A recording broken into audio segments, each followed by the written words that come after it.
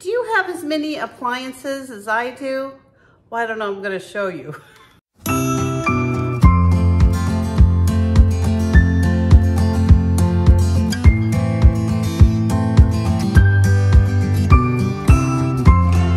So, if your situation is like mine, where you're overrun with appliances, I have a great hack that's gonna help you kind of corral them.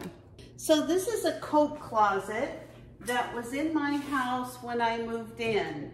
And I live in Southern California, so I don't use a lot of coats. but what I do have a lot of is appliances. So let me show you what I did.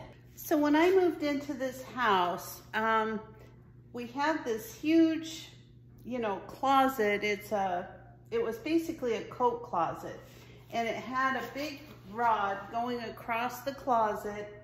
And my son, who's very talented at making things, he actually built me some shelves and put it all, I have one, two, three, four shelves. And then on the bottom, I actually have tile on all of my floor. And so I keep my pumpkins and my squash and things like that that need, need to stay nice and cool. And I know it probably looks like a big mess, but this is really how I corral all of my uh, appliances. I'm gonna show you a close-up and the problem that I have with this is that right now you can see because the light's on.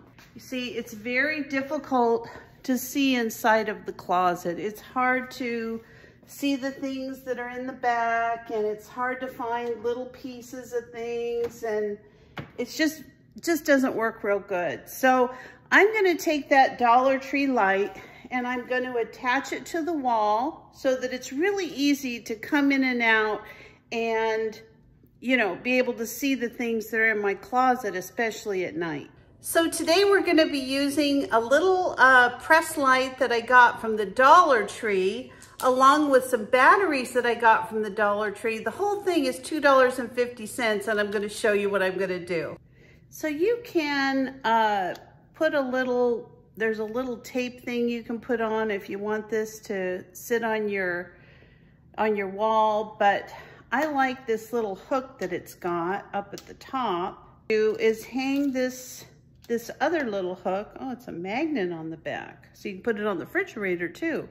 So I'm just gonna hang one of these picture hooks and then I'm going to kind of hammer it down once I got this light on. So all I did was hammer in a little uh, picture hanger and let's turn it on and see how it works. Wow, let me turn the light off in this room to see if it makes a difference. Well, that's a nice bright light. It definitely helps me be able to see products and I probably should organize this mess of a closet that I have. It really is a mess. But I'll tell you what, I use everything in here. Let me turn it on for you again. So I wanted to show you, this is just one corner, but all he did was put this little wood piece all around where he set the shelves on, and then he kind of screwed them into these little pieces. And this is just some basic particle board. And honest to goodness, it hasn't sagged, nothing. And I put a lot of weight on these on these shelves. It's just worked perfect. These are my little pumpkins that I grew for the kids for Halloween. So that is my appliance closet. And if you are looking for a way to take advantage of some extra space in your house and you've got a coat closet that basically holds a bunch of junk or coats that you never wear, or if there's a way that maybe you can put your coats in some of your, either a mud room or even in your closet in your bedroom or a spare bedroom, this is a great way to kind of organize your appliances. So I hope you found this hack really uh, helpful to you. If you have a lot of stuff around the house and you're not quite sure how to organize it, that's a great way to take advantage of some extra space that you might not have thought of.